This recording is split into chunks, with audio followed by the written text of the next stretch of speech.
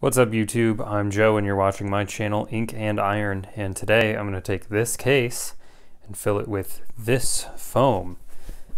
This is a pick and pluck foam from I think foamfactory.com. I'll put a link in the description.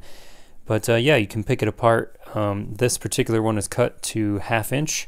So these are about like, you know, 12 millimeters squares and uh, apparently is cut all the way to the edge. So going to resize it to fit this case and uh, put my knives in there because currently this is what I'm rocking for my knives storage. Oh, hi Zeb. They're all laying flat and uh, some of these drawers are getting a little bit crowded. So I'd rather keep like fixed blades and tools and uh, pens in here and I'll keep all my folding knives in the case. Yeah, that's what I'd like to do. So let's uh, empty this guy out and resize this foam and uh, we'll see how it works. Okay, so the first thing I did was clean out the case so you can see it's pretty clear. And then uh, I totally forgot it has this series of pockets that are actually removable. Turn this little thing, take the latch off of there, and this comes out.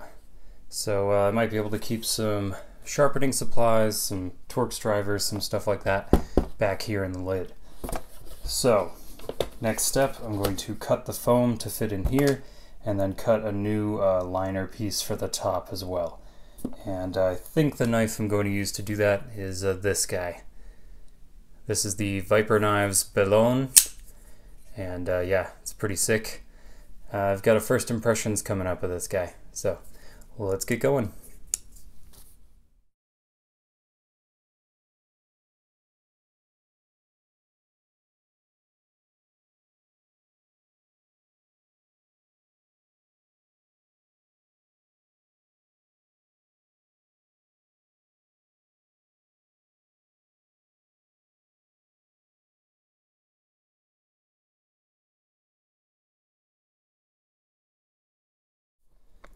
Let me give you a gander. That uh, turned out about as well as I could have hoped. Uh, this is the 3 inch deep foam and uh, looks like it was the right size for this case. I thought it was going to be about 3.5 inches deep, but uh, yeah, probably 3.5, maybe 3 and a quarter even. Uh, the bottom of this is lined with foam, so when I pick out these little rectangular pieces, um, the knives will slot down and be touching the bottom foam. There isn't um, cross cuts, so to speak. So once you pluck the foam out, it is the entire length of that foam all the way through. Um, that being said, you can cut little pieces and like shove them in there for shorter knives. Um, I probably will have to do that for a few of them. And then uh, just this plain old egg crate looking foam. Um, this turned out really well. It still fits the insert behind it. Um, it does press against these little metal tabs here so I may have to cut some notches just to make it fit a little more comfortably, and it will give me a very consistent way to uh, put it back in the case each time. But the case closes with all this foam in here and should keep my knives really, really safe. So uh, the next shot you see will be the completed uh, move of all of my knives into here.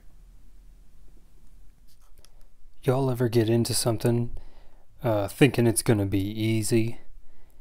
And then, you know, you start spreading the knives out, trying to count them and figure out how many need to fit in your new knife case, and realize you have a problem. well, ah, I've got some decisions to make. This is a lot of knives. So, all the ones on the bottom here definitely going in. Maybes on these guys. Maybes. They may end up in the back of this case. But uh, yeah, you'll see the result here in just a sec. So Zeb fell asleep during the process. He sleeps with his eyes open. Anyway, here's the case. Uh, does want to open itself up pretty hard, but this foam is new. I think it'll break in and be a little bit uh, easier to close, but take a look at this. It is slightly back weighted. I'll show you why in a second. But here they all are in nice padded foam. Uh, you can actually lay knives on top and the compression from this foam appears so much that they actually don't move. So that's pretty cool. And then right behind here, I did end up cut some notches just using uh, this knife right here. Northfield Arms.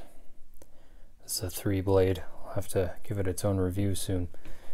But cut those notches in there and then put the retired knives back here to uh, hang out in peace away from the rest of the crowd. They don't have to get their photos taken if they don't want. So there you have it. That's the knife collection. Oh man, I'm gonna have to do a collection update video, but uh, thank you for joining me for this uh, little DIY project, side project I have going on. Um, I may fit multi-tools in here. I don't know. I assume this case is going to evolve as uh, my collection evolves. But uh, thank you for watching. If you want to see more, hit subscribe. Uh, like the video if you liked it. If you didn't like it, tell me why in the comments and thumbs down. I'm not here to make bad content forever. Alright, I've been Joe, and you've been watching Ink and Iron, and I'll catch you on my next video. Bye.